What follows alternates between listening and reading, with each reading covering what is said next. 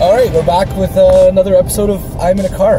And I have the honor of having our uh, Chief of Police, Jeff DeRuyter, with us today. So thanks so much for doing this. It's great to be here and out, out in patrol. Out on patrol, yeah. school. I'm patrolling. This is crazy. I kind of feel weird about it. Um, I, I, I made a promise that I'm going to do my best for no rolling stops, and I'm going to make sure I adhere to all of our traffic laws. So thank you very much for keeping me on point. Uh, but no, seriously, um, I'm over the moon that you decided to, to be part of this, and, and I'm, I'm really excited to kind of hear what you have to say about a whole bunch of stuff, specifically around leadership. Uh, but before maybe we get into it, in kind of classic I'm in a car fashion, can you give us a quick little rundown of kind of where you've come from and how you ended up as being chief of police for our awesome community? Yeah, absolutely. I, I just had my 34th anniversary in policing it with the Guelph Police uh, just this past week. Congratulations. Um, and so my my journey, I've always been in Guelph. I came to Guelph for the job. I'm a Burlington boy and came here for a job and uh, started as many of us did as a patrol officer. Yeah. And over that time, um, different opportunities, spent a lot of time in investigations and different supervisory and management positions, and um, really just sort of evolved. I, I didn't get into policing to be the chief, and in some ways it, it worked out, and that's probably you know part of my leadership journey, part of the uh, in reflection at 34 years. Um, you know how I got to where I am, and, and some of the things that uh, I would have done differently are you know are pretty clear to me. Yeah. Yes. All right. Cool. So, 34 years. Didn't really see from the beginning that Chief of Police was the destination, but here you are. Uh, what's it? What's the ride been like? Like you've been Chief Police for what? Three years? Three, three years. I was interim um, September 14. So Okay. So almost four years September. And so, how, how is it treating you? What's it like? I mean, I can only imagine the stage. Like everybody's looking. What's the chief of police doing? You really, you're kind of on a public public stage.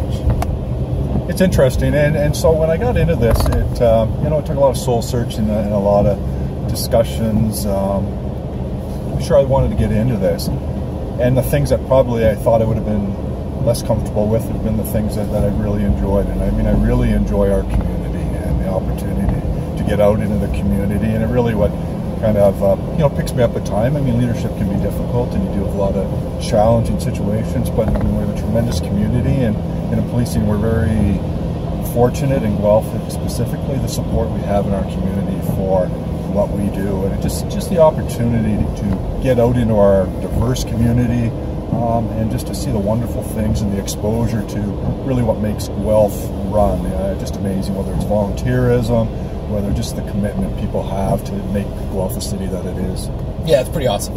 I, came I came to Guelph from Whistler, BC, and I was like, I got to go to Guelph because I had to go to school. I was done, you know, serving food. I had to get educated, and I was like, oh man, Guelph. Like I'd never been, and I ended up getting here, and in like a week, I fell in love with the campus, and then fell in love with the city, and then I found out about Guelph Lake and the trails, and then I found out about everything around here, and it was just like I don't know, I haven't left, right? You know, and that was 2004, so it was 14 years. I don't think I can call myself a Guelphite yet, but I'm getting there. And I'm certainly a Guelphite. Uh, I mean, it's home. I raised my family here, and it, it is yeah, it is home. Cool. So going back to this leadership thing, I mean, as far as I'm concerned, everything success rise and falls on on leadership.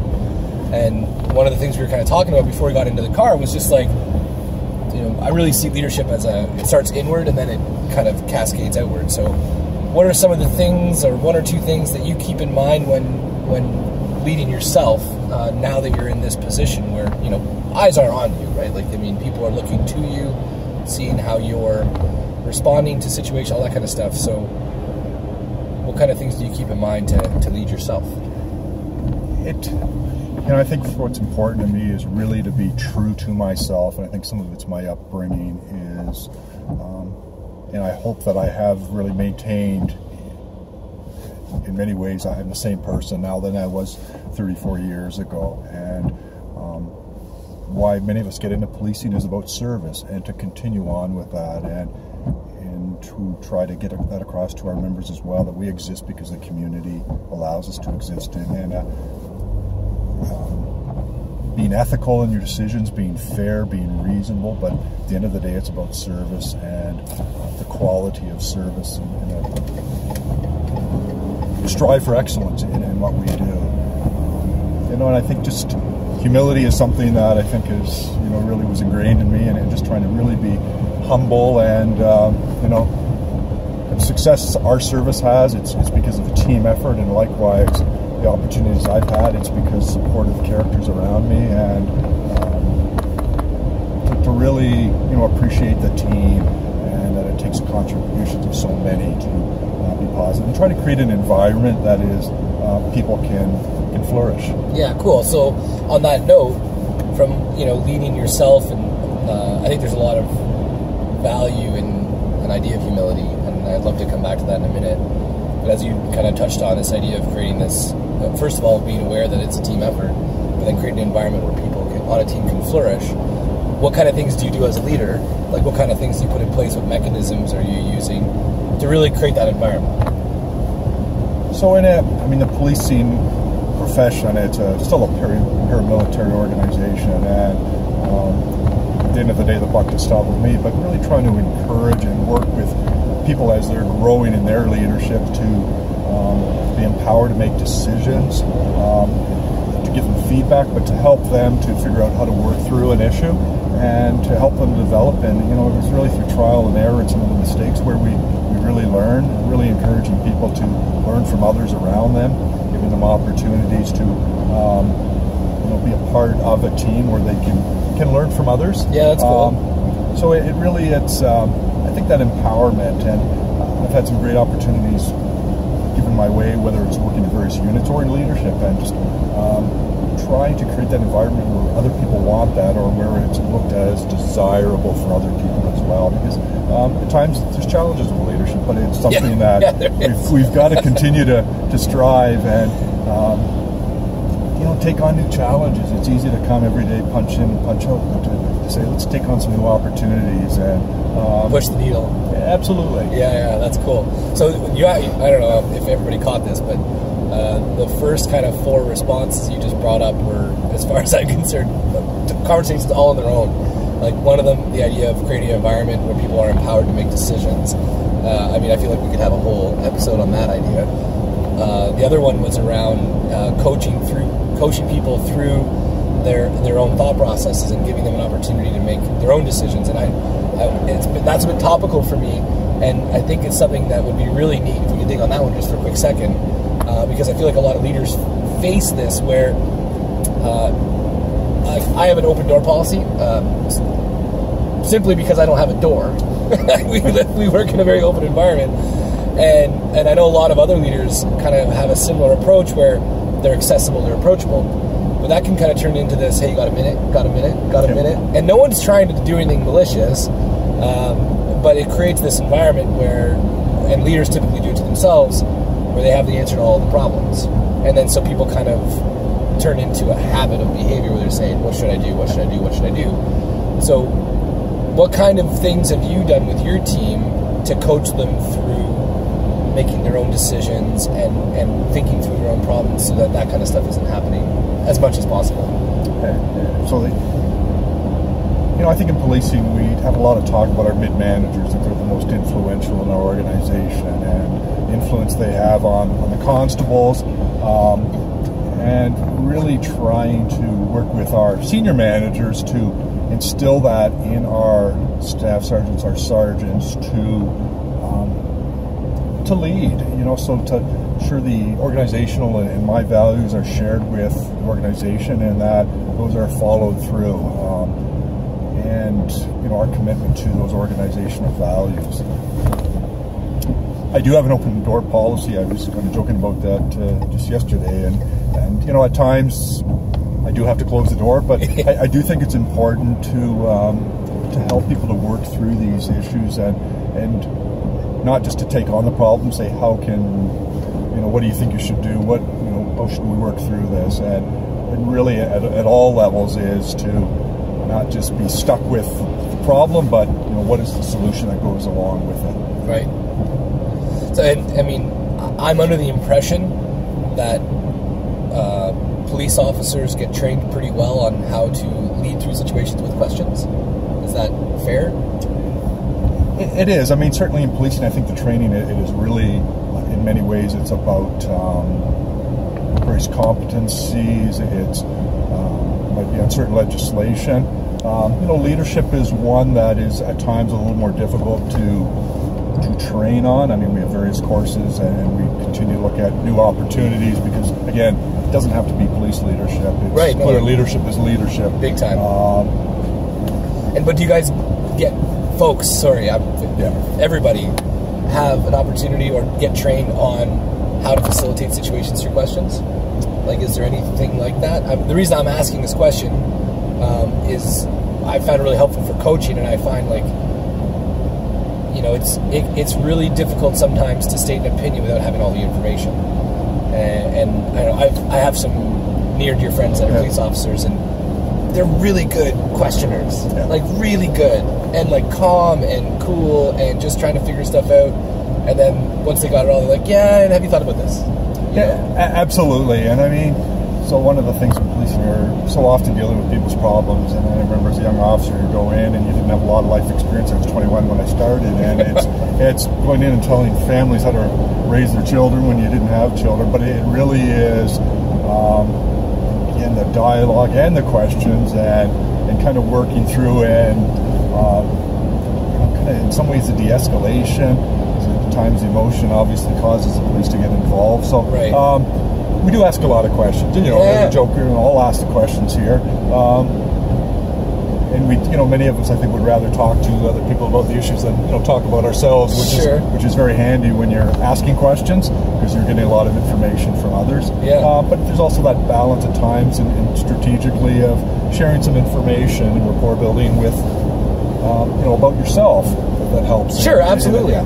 And so, do you do you use questions at all when coaching people through their own problems? Absolutely, and we see that in our uh, when our new recruits, and we have a coaching process, and, and you know there's strategies on how you you know you show them, and then you have them do it, and, and really in the feedback and the questioning. And so good coaches, I think, are really good at getting the recruits to understand why they're doing it and getting them to lead. And, you know, many times they know the right thing, but getting them to articulate it, Right, show right. that. That's cool, and I think it's really important, and I, I, um, especially in leadership at all capacities, whether it's policing, whether it's business, whether it's family, because we all like people are inherently competent, skilled, smart people, and I think we just got to create that environment where they can articulate the thoughts they have and give them the time and the space so that they can come out with their own ideas. You know, in policing, we really do focus a lot on articulation because, I mean, so many things ultimately it's in court and it's not only doing the right thing, but also that you articulate why you did what you did. Um, so, so articulate based on on the law, based on the authorities. Sorry, I. I was Yeah. pausing there because I thought maybe the I railway didn't, crossing? I, I Yeah. thought maybe I didn't do the railway crossing No. properly, and you were gonna like kind of pull like me pull like me your, over. like your driver's exam here. I got the clipboard out and I'll give you the results when we stop. How am I doing? Hey, you're doing okay so far. Okay, whew.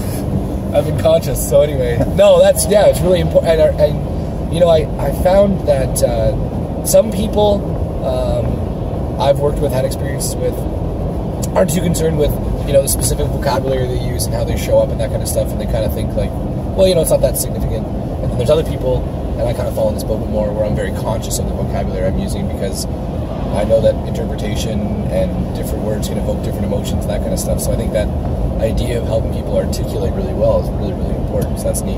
and where that's really important as well with citizens because oftentimes people are in a, level of distress or they're um, having difficulty with a situation and the words that we use are so important and they can cause something to go in, in a positive way or it can, it can turn up with the opposite uh, in a negative way. Yeah, big time. And it doesn't take a lot. So then you, you were talking about this idea of uh, instilling not only the, the cultural and core values of the precinct and of police officers, but also, you know, bringing your flavor into that. So I was a little bit curious in terms of how, you know, when you took over the role as chief of police, uh, you know, whatever September 2014, I guess it was interim, and then full full fledged In, in March of 15. of 15, okay. So you you have an institution that you're running. That would mean I would consider the the police in Guelph as an institution of, of the community. So it's got its own kind of entity, but then you've taken over a leadership position and you have your own vision and values. So how do you weave the two together and then try to make them come to life?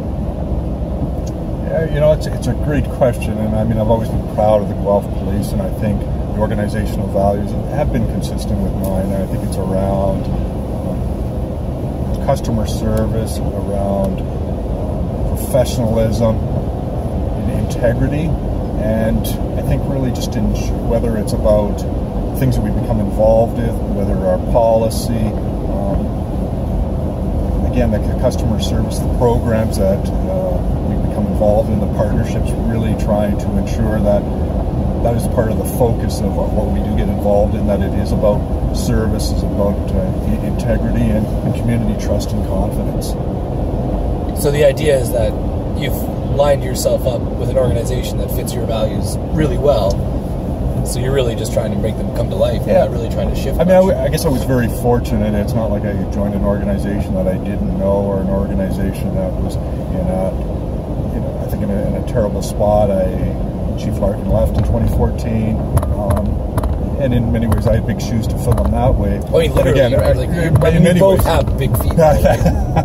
Absolutely, but you know he's a larger than life character. But Oh, yeah, you know, I, I think it's about um, an organization that was in really good shape, and we have excellent, outstanding men and women that you know both as police and as civilian members, and it's really I think building on that excellence and um, really encouraging the many wonderful members we have to. Uh, reward them, thank them, and at times, you know, I'm guilty of this. I don't do enough in that way, and at times we focus on um, some of our more challenging uh, employees, and, and it's trying to really encourage the many outstanding members that we do have. Yeah, it's interesting as leaders how that happens. It's like this tendency that happens across the Right. board where, you know, that we're always trying to improve the worst and spending all the time there when, I don't know, from what I've read and, and, and heard and watched, we're supposed to be doing the opposite, putting more time into the best. But it's just a, yeah, it's, a, it's an interesting tendency. So, um, kind of not so much on the leadership side. When you guys compete, fire department, other regions of police, do you guys ever do any like hockey, baseball games, that kind of stuff, or anything that's just like maybe police games or is anything like We, that? we, we have over the years, yeah, we, we had uh, police fire games. Uh, I mean, it is interesting. So who's the, who's the better hockey, you- hockey team? You know, I don't, I don't know if I don't know if we've played hockey. Um, Oh, I should know the answer to that. No, it's all good, it's okay. Yeah, but uh, you know, it's interesting because there is that natural sort of friendly rivalry yeah. and, and the various jokes. And at times, our community actually wants to see more of that. You know, let's have a tug of war between the police and the fire. And, and you know, I've tried to at times avoid that. Whereas we do a lot of things together, and I think it's important in emergency services that again we have these good relationships, which we do. Um, there's again, it's a it's a good natured rivalry. Yeah, for- for sure. You want it to stay that way, and uh, So Is there anything coming up? uh, not that I'm aware of. Yeah, okay, Uh, fair enough. And then what about against other regions? Like, so Larkin went to Waterloo region, right? Absolutely. And so do you two stay in contact quite a bit? Because there's a lot of like, A fair bit. So I mean, we're involved in a, a number of groups together, but I, I'm in touch with him and uh, certainly tap into his knowledge and um, you know a lot of it.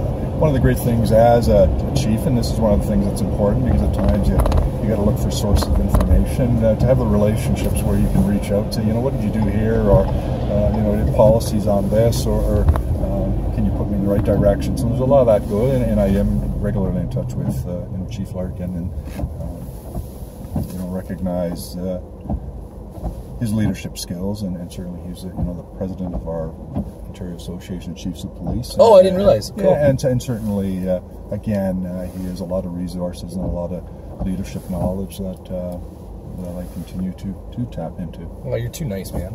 I'm trying to get you to poke something right now. I know, I know you know I'm trying to do that. but, um, so well, you know what? I mean, we, we do have St. Patty's Day coming up, and uh, and certainly we, I remind him regularly that we are sending all the Guelph students over to uh, Waterloo to Ezra, and they're, yeah, absolutely Perfect. Yeah. Get the buses loaded up. it's, it's it's worked. Yeah, Uh, yeah, it's, it's part of my budget. That's Yeah. perfect. Um, so one of the things that I was curious with, I mean, this is a little bit of a platform. You know, there's probably going to end up being a couple hundred people uh, getting a chance to watch this. Is there anything that you want to just give a shout out or, or let people know that's going on in, in the community Guelph, something to keep their eye open for, or something that you know, uh, some sort of initiative that you want people to know about, anything like that? You know, it's something really that one of the things that's really changed for me in policing is some of the issues that we face as a community we're a lot better in policing and working partnerships, collaboration, but um, mental health and addictions, you know, are some real challenges. And I think we made some real strides as a community in mental health and working with CMHA and um, tried to get a lot of attention on the impact team. But it, it's really just such a great example of, you know, a commitment to deal with a community issue and, and work together. And you know, similarly with we have some issues, concerns about substance use, and really the work that we're, we're doing to try to address that and some of the downtown issues. Right. Um, we're just embarking on our new business plan, which will take us uh, at the end of this year for the next three years. And so we'll be reaching out to the community, looking for some feedback from them as well yeah, okay. in terms of um, what would priorities be for them uh, for the police service. Yep. And so. Uh, so that's coming down the pipe. It is. It is something that we'll be launching shortly in terms of any kind of engagement. And um, but again, I think the collaborations that we have in so many levels with uh, various agencies in the, in the city is something you know, we have challenges in, in, in policing in terms of uh, you know, financially, and we have to we have to continue to look at new opportunities to how we deal with situations, um, and it can't just be the, a policing problem on its own. And I think we've got a lot better in that way, and still have some work to do. Sure, there's always work to do, I guess. Right? Yeah, absolutely. Um, I mean, we're involved in a lot of fun activities. I mean, that's one of the great things that I, that I get certainly uh, to give back to the community and really focus on some of uh, with youth know, Special Olympics is still near and dear. Yeah, that was a big, that was a and, huge. And again, success. it's still something as police that we're very proud. And um, you know, I still spend a lot of time with various Olympians in, in Guelph here, and cool. really something that uh, just so inspiring.